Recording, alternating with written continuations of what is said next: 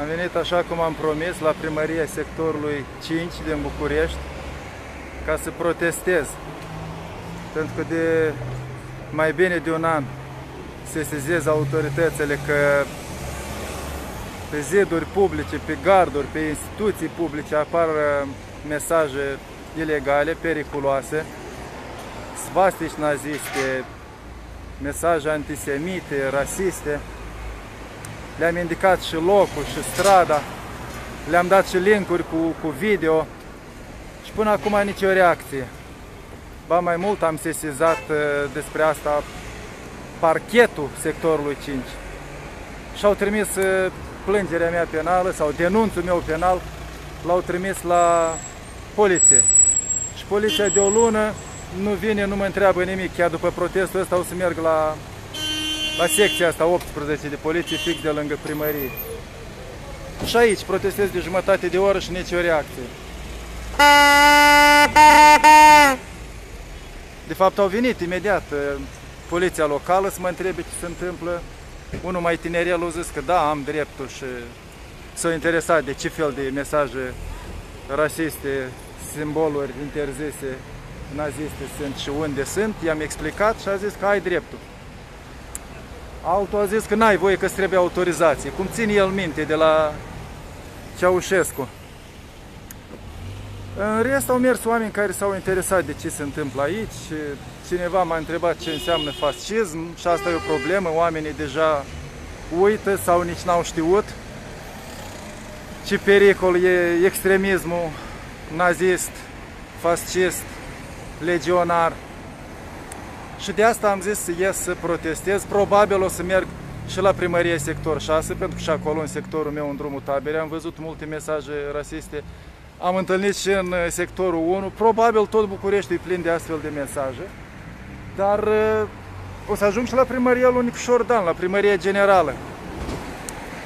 Asta ar trebui să fie o politică națională, guvernul, Ministerul Public trebuie să se ocupe de asta. Nu degeaba prin 11, vreo 10 ani în urmă s-a, s-a votat o lege, se pare că prin ordonanță de guvern, s-a făcut o lege care interzice svastica și alte mesaje uh, periculoase mesaje care neagă Holocaustul, care preamăresc pe Hitler, pe Antonescu și tot așa. Numai că legea asta nu se respectă, o ignoră toată lumea și o încalcă care și cum poate.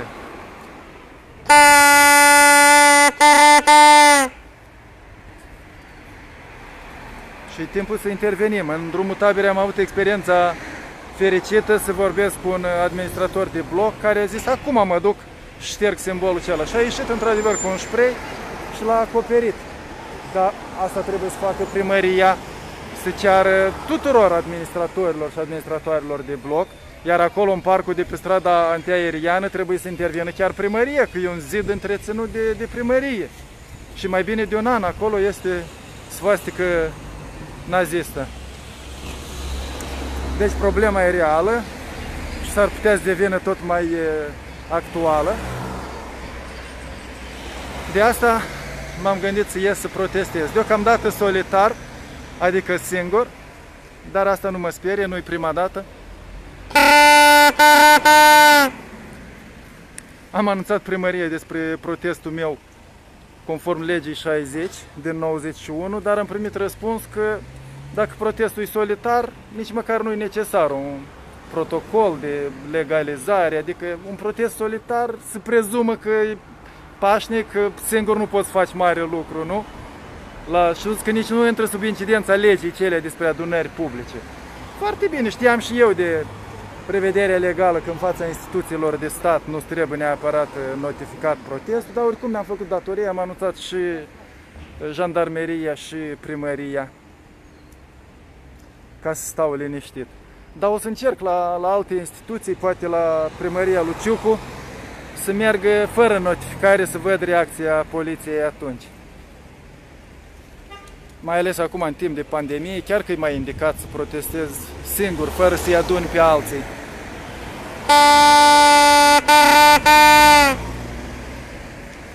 Am zis în declarație că n-am nevoie de forțe de ordine pentru că aici sunt uh, polițiști locali non-stop, e supraveghere video, deci n-am de ce să mă tem, n-am nevoie de ajutorul uh, statului.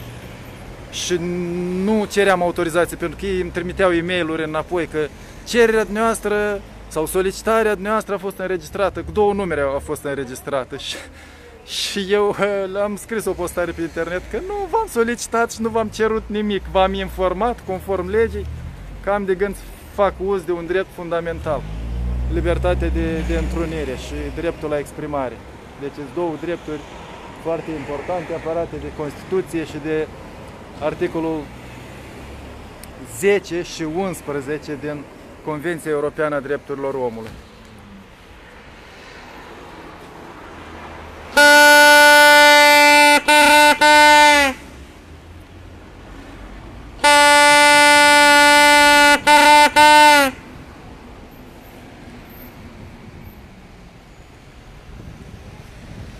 Primăria știe de protestul meu, primăria știe de motivele protestului meu și nu face nimic. Piedonii e ocupat cu circul, cu spectacolele lui și cu procesul de judecată pentru colectiv, chiar zilele astea riscă să fie condamnat și de curtea de apel. În prima instanță are o condamnare de peste 8 ani și nu are el timp să se ocupe de simboluri naziste în sectorul cel mai dezavantajat, cel mai discriminat din capitală.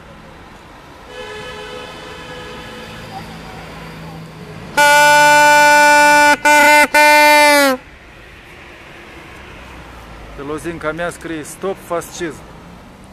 Ca să fie clar mesajul, să nu creadă că am venit să cer ajutare umanitare sau salubrizarea teritoriului. Sunt și astea probleme și le sesizez prin eh, filmările mele, dar acum mă preocupă pericolul la adresa drepturilor omului, drepturi fundamentale.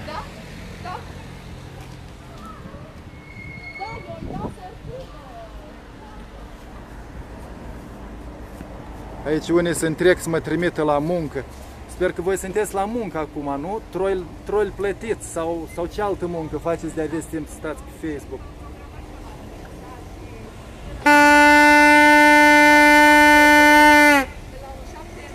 Munca mea e să apăr drepturile omului, chiar dacă nu-i plătită. Se cheamă activism civic, muncă voluntară. Dar voi n-aveți de unde să știți. Cum a trecut ăla și m-a întrebat ce înseamnă fascism, la fel și voi nu știți ce înseamnă activism civic, drepturile omului, implicare.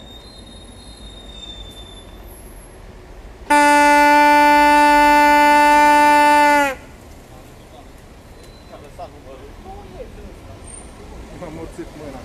Și muncă grea. Activismul civic.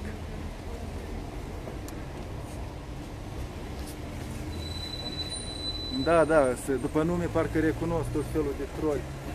Ăștia la servicii, plătiți să facă așa comentarii. Și nu-ți comentez oameni anonimi care fac vreun live cineva, ci persoane care au impact, ca să-l discrediteze, ca să ne discrediteze. Cineva are nevoie de discreditarea noastră a apărătorilor drepturilor omului, a avertizorilor de integritate, a activiștilor civici, mai ușor de guvernat, de păcălit, de uh, parazitat pe banii statului, când toată populația ori e speriată, ori e plecată din țară, ori e tăcută, liniștită. Dar democrația, un stat de drept cu adevărat, se face așa, cu activiști civici, cu societate civilă, cu implicare, cu solidaritate socială,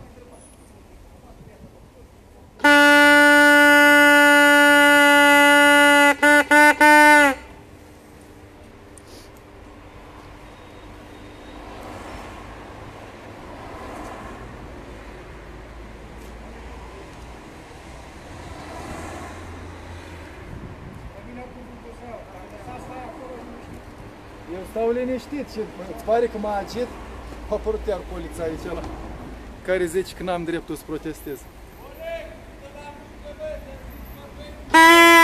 Tu muncești, băi! Tu muncești, băi, acum! Mi-a scris unul. M-a văzut pe internet și a, și a venit aici.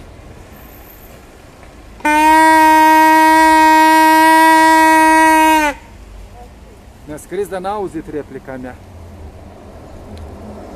El se duce la biserică. Du-te și roagă-te pentru mine. Asta trebuie să faceți cel mai tare credincioșilor. Rugați-vă pentru necredincioși. Din solidaritate, ca să zic așa.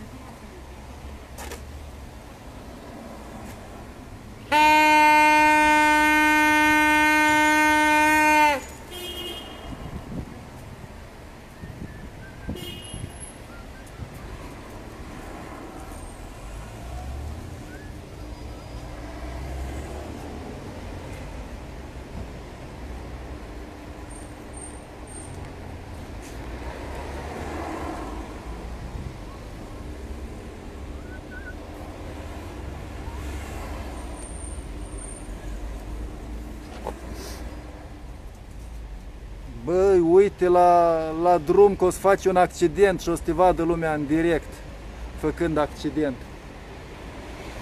Cornele, uite la drum, nu scrie mesaje. E ilegal.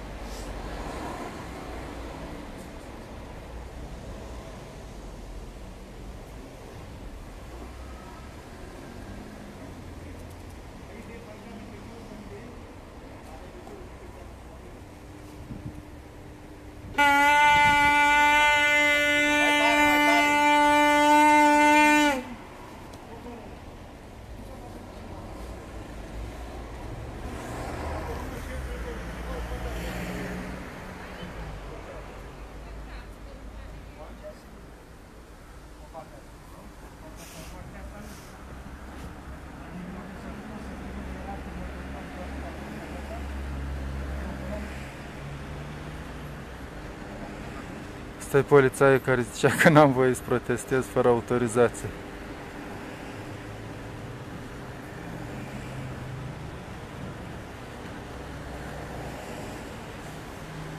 Na, dar în poliția locală poți fi și ignorant. Că nu ai obligația să ai studii juridice ca la angajarea în Poliția Națională. Și aici deseori angajează chiar fără studii fără experiență, fără nimic. Doar așa, pe criterii de loialitate primarului.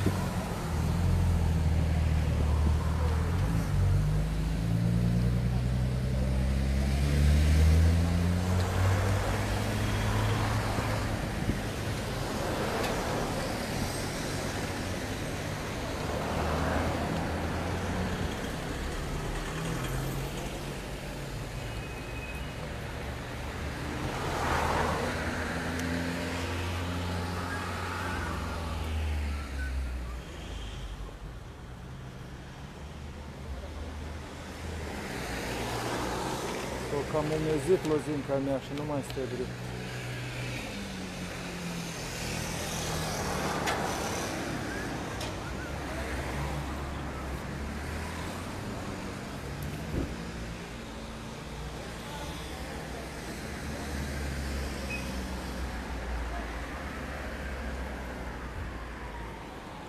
Se bucură, doamnă, că mă exprim.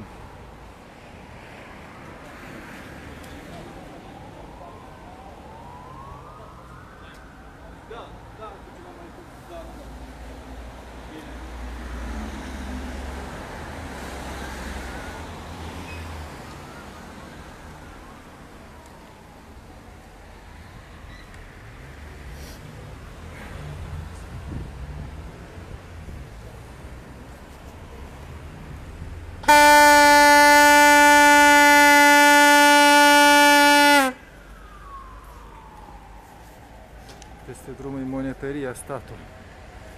Cu ei n-am nimic. Acum mai nou au făcut și bancnotă de 20 de lei cu prima femeie reprezentată pe bani. Ceea ce e un progres. Măcar în secolul 21 trebuia să se întâmple asta.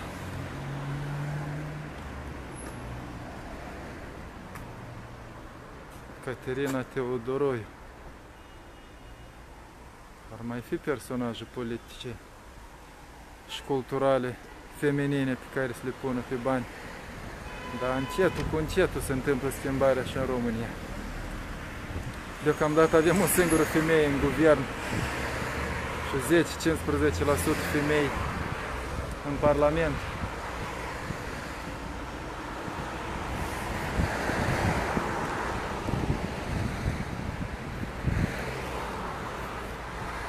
Vă las eu cum mi-a înghețat mâna. Mergi la Nădlac și protestează desființarea granițelor să poată românii să treacă ușor. Dar românii ceia de ce nu s-au vaccinat dacă au fost în lumea civilizată? De ce vin acasă să îngroașă rândurile nevaccinaților și a transmițătorilor de, de virus? Românii de ce vor să trăiască în lumea civilizată, dar să nu se civilizeze, să rămână cu apucăturile de peșteră, de grotă? Să stea în carantină, ce are? Cu toată familia. De ce nu se interesează de prevederile legale, de schimbarea lor? Dacă nu vă place, ieșiți cu Simion la, la protest. George Simion vă cheamă la, la grămadă, ca și poliția locală, sector 5. Centura și masca! Ăștia cu măști. Dar cei din mașină îmblă fără centuri și fără măști.